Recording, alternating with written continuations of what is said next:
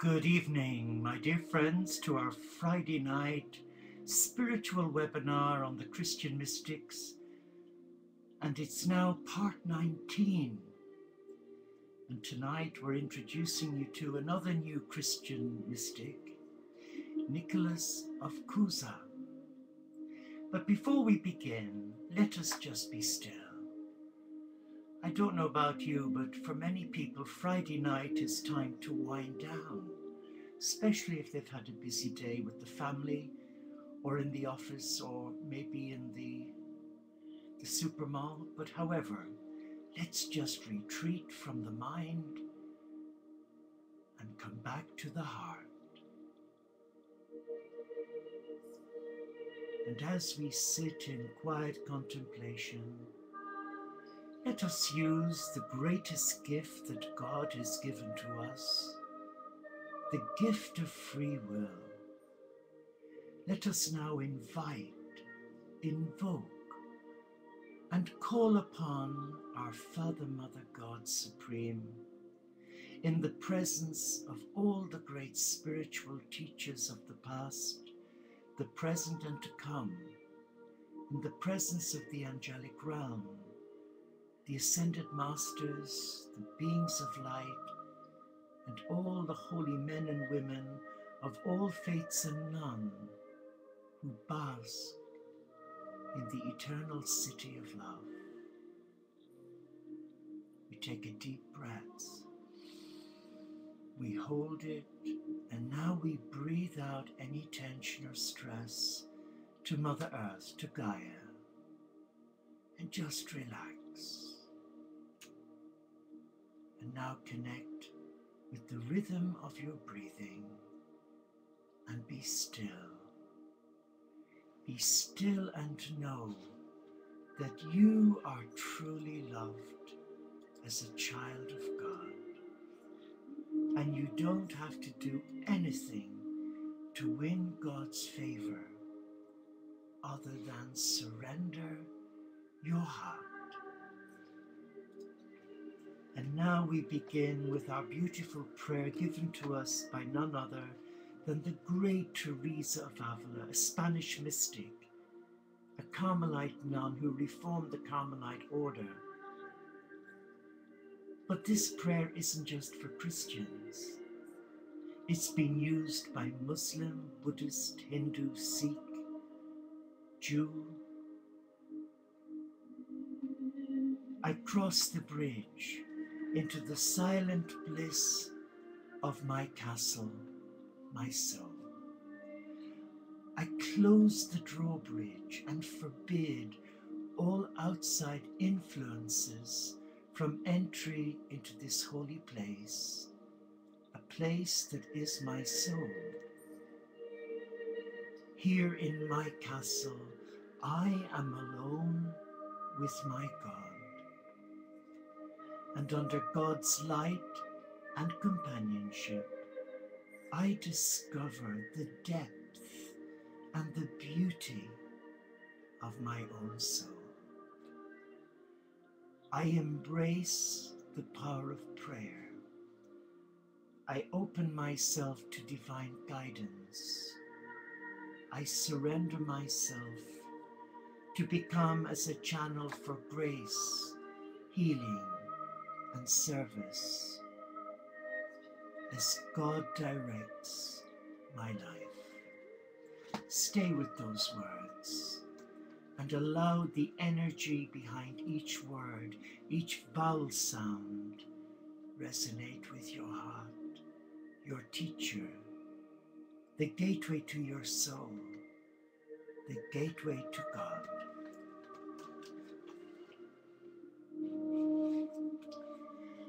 Now we're going to read one of the reflections we read last evening. In all faces is seen the face of faces, veiled in a billion riddles, yet unveiled it is not seen, until at last Above all faces, we enter into a certain secret and mystical silence where there is no knowledge of a face. Nicholas of Cusa. And Matthew Fox interprets this as the 15th century mystic and scientist Nicholas of Cusa speaks in paradoxical language of the riddle of the mirror. How our small f faces reflect the big F face of God. Yet even when unveiled, God's face remains unseen. Every face mirrors something of divinity, and yet we cannot describe what divinity looks like. God is seen, but not seen. Creatures who are faces of God reveal God, but they do not reveal God. Then, when we do enter into the silent and mysterious divine presence, we enter a place beyond faces and individuality. Nothingness remains. And that takes us still closer to the divine face.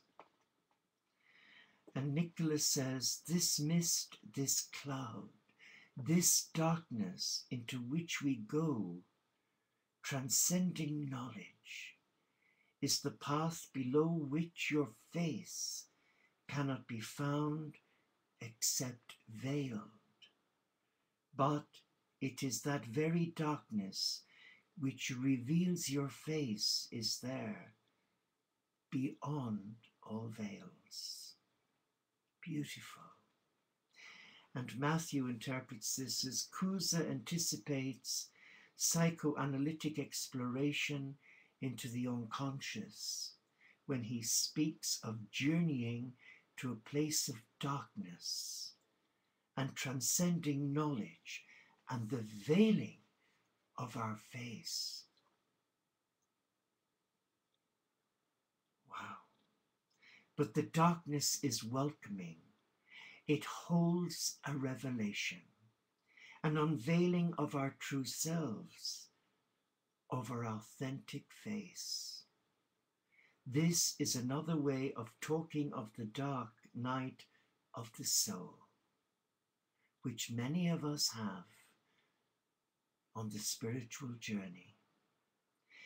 A dark night of the soul which has so much truth to teach us. Have you made this journey yourself? Would you dare to journey to find the unveiled face within your darker self? Would you? It takes a lot of courage. But Guess who gives us the courage? Absolutely. And Nicholas says, Oh God, the longer I gaze upon your face, the more acutely do you seem to turn the gaze of your eyes upon me. Thus, when I meditate on how that face is, truth and the best measure of all faces, I am expanded into a state of immense wonder. Those who look upon you with a loving face will find your face looking on them with love. Those who look upon you in hate will similarly find your face hateful. Those who gaze at you in joy will find your face joyfully reflected back at them. Oh. And Matthew explains this a bit further by saying Cusa echoes Eckhart's observation that the eye with which I see God is the same eye with which God sees me. The face to face gaze we experience with God certainly inspires wonder. A pure subject to subject gaze with no objects. But Eckhart teaches that all the names we give to God come from an understanding, yes, of ourselves. Thus, the quality of the gaze depends on what we bring to this encounter, on the quality of our being. In speaking of love or hate emanating from God's face, is Cusa teaching about karma. Put out love and you receive love. Put out hate and you conjure up hate. Put out joy and joy is reflected back to you. Does this match your experience? And Nicholas of Cusa shares this, O Divine One, all beauty which can be conceived is less than the beauty of your face. Though every face is beautiful, no face is beauty's self, but your face. God, Goddess, has beauty, and this having is being. It is absolute beauty itself, which is the form that gives being to every beautiful form. It is absolute beauty itself, which is the form that gives being to every beautiful form. I wonder what Matthew Fox has to share about that. Well, he says Cusa reveals his understanding of the importance of beauty in our understanding of divinity. Only God's face is beauty itself. But this is the beauty not of appearance or form, but of being. God does not have beauty as creatures do. God's being, absolute beauty itself, is the source for every beautiful form. Thus, beauty is a worthy path to God, and God wants it that way.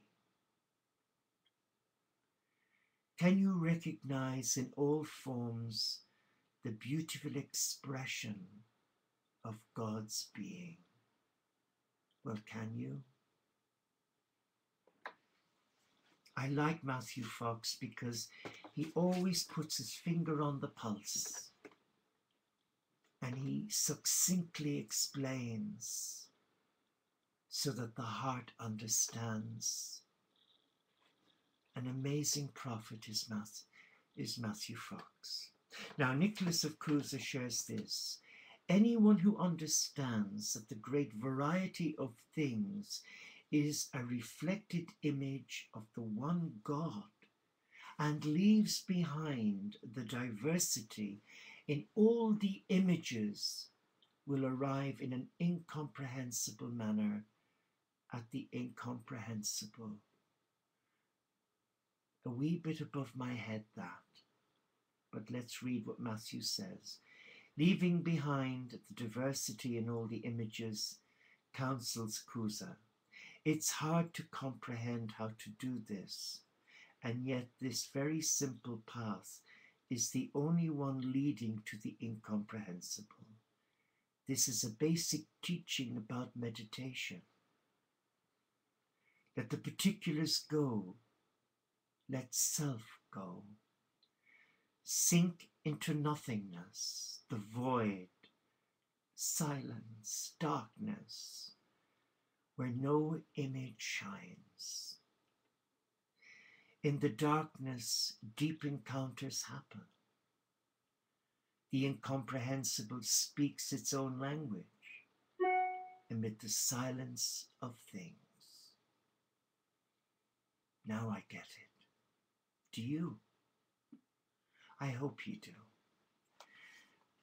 And now we have a beautiful reflection from Nicholas of Cusa.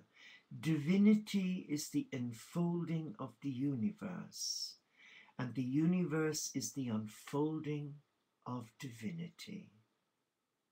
The human mind is the enfolding of its own dream world, and its own dream world is the unfolding of the human mind. Divinity is the unfolding, is the enfolding and unfolding of everything that is. Divinity is in all things in such a way that all things are in divinity. Mind itself, supposing itself to encompass, survey, and comprehend all things, thus concludes that it is in everything, and everything is in it. And Matthew says Cusa likes very much to play with the themes of enfolding and unfolding.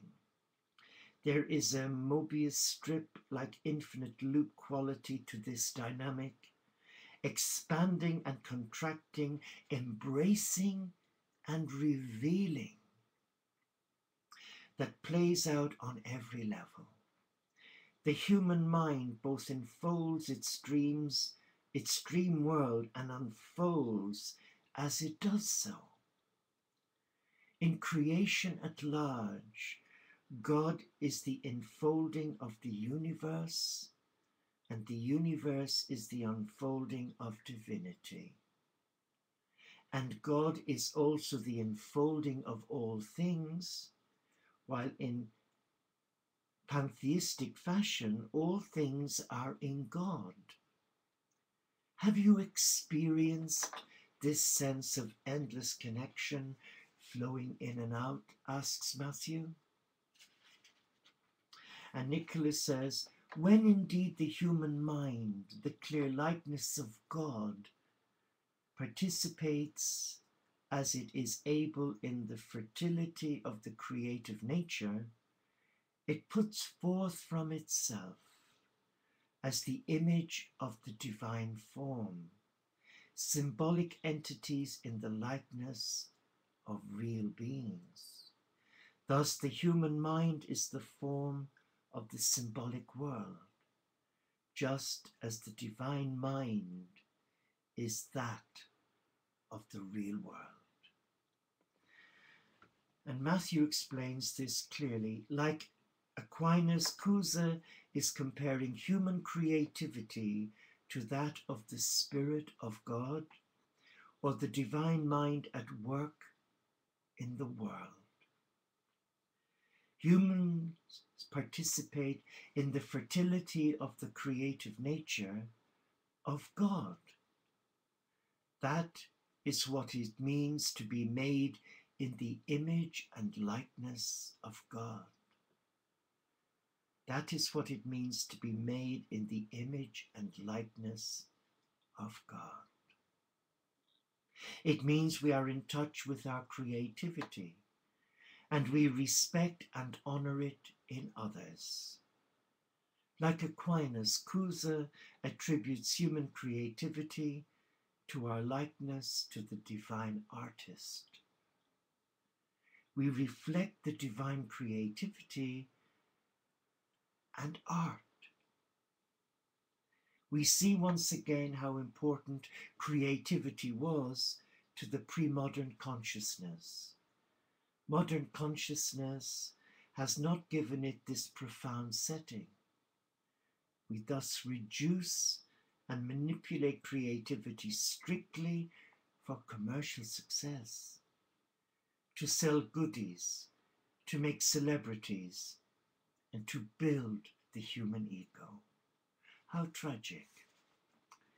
And Nicholas of Cusa shares this. Peace is the bearing of fruit of the mind. It is the dwelling place of divinity, the divine locus. Contemplation is living in peace. Can I read that again? Peace is the bearing of fruit of the mind. It is the dwelling place of divinity, the divine locus. Contemplation is living in peace. And what does Matthew say? Contemplation brings peace. It is living in peace. Peace is the fruition of the work of the mind. We seek peace. Eckhart says we run into peace. All things seek, seek peace in response. Divinity dwells there. We taste that peace in contemplation. We taste the divine presence. Hmm. And another beautiful reflection from Nicholas of Cusa the Logos of creation, in whom all things were created, can be nothing, nothing other than divine wisdom. Thus, it is that wisdom is eternal, for it precedes every beginning and all created reality. And Matthew says Cusa connects the cosmic Christ as, as Logos or Word with the cosmic Christ as wisdom. They are the same. Wisdom precedes all beginnings and all creation. Wisdom was there from before the beginning of the world. Let's reflect. Just let's take a breather. What is the Spirit of God saying to your heart from the reflections I've shared with you? Beautiful words. Shall we proceed? Okay. Nicola of Cusa says humanity will find that it is not a diversity of creeds, but the very same creed which is everywhere proposed. There cannot but be one wisdom. If it were possible to have many wisdoms, these would have to be from one. For before any plurality exists, there must first be unity. Wise objection a wise observation. Humans must therefore all agree that there is but one simple wisdom whose power is infinite. And everyone in explaining the intensity of this beauty must discover that it is a supreme and terrible beauty. Mm. And Matthew says, I see Cusa speaking from the 15th century to the movement of deep ecumenism in our time. He says that while humans profess various creeds, there is really only one creed, and that is wisdom. Wisdom is simple yet infinite, and to apprehend it is to recognize a supreme and terrible beauty. This beauty is not the same as pretty. It relates to awe and even terror. My word. Cusa challenges us to move beyond parochial creeds to recognize this one supreme and terrible beauty that is wisdom. Are we up to the challenge? Are you up to the challenge? Mm, well, I am. And another beautiful reflection the Lord of sky and earth has heard the groans of those who have been slaughtered and imprisoned and reduced to slavery and who suffer because of religious wars. The Creator is moved with compassion towards humanity and will try to guide all the variety of religions to one greater, unimpeachable harmony in which all opinion is one. And Matthew says, Cusa is decrying the price innocent people have so often paid for violent religious crusades and pogroms and inquisitions. He promises that God will eventually clean up religion and move it beyond warfare and conquest and proselytizing to a greater unimpeachable harmony. In the meantime, how are we doing? In this 21st century, how are we doing? Do we still believe that our belief, our personal belief, is the only one? Well, having read that, all beliefs are all part of the one creed, wisdom. So let us spend this last few minutes just reflecting on what we've read. And let us call on the Spirit of God, a spirit of all knowing, selfless love, to come and to speak to our hearts. Maybe we're insecure, maybe we're in a rut, maybe we are full of religion and no spirituality. As Jesus said, they honor me with their lips, but their hearts are far from me. Is your heart closed to the Spirit of God? In most cases, it's closed because of fear, maybe indoctrination, afraid of being singled out and called troublemaker. But if we hear that voice of wisdom and we embrace it and surrender to it, then we need courage to honor it. But there is a price to pay. And that price is usually rejection from within one's own family, be it birth family or religious family. It takes courage to listen to your heart, to honor it, to follow it, and to walk with God as God directs your life, not as your bishop or your priest or your imam or your rabbi tells you how to live your life. It is God who directs your heart.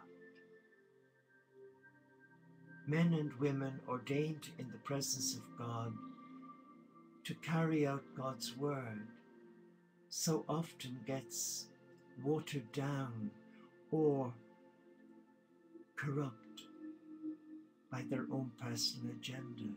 So if ever there's an element of disquiet, always come back to the source, to God, and ask God is what you're hearing for your highest good?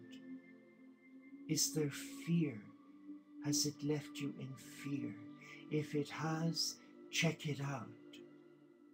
Check it out in prayer with God. And again, Jesus said, Whatever you ask in my name, I will do for you. And he wants you to challenge all the doctrines that are thrown at you because they're not all of God. Often man has contaminated doctrines of God and shackled the children of God to a miserable life of fear and guilt and self loathing.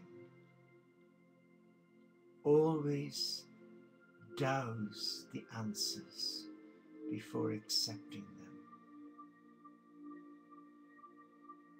Let us be still. And let us give thanks to God for this great Christian mystic, Nicholas of Cusa, and for Matthew Fox as well, for explaining to us the depths of the meaning and of the heart of this good man, Nicholas of Cusa. And as we come to leave our castle, our soul, we share this beautiful prayer of exit with you.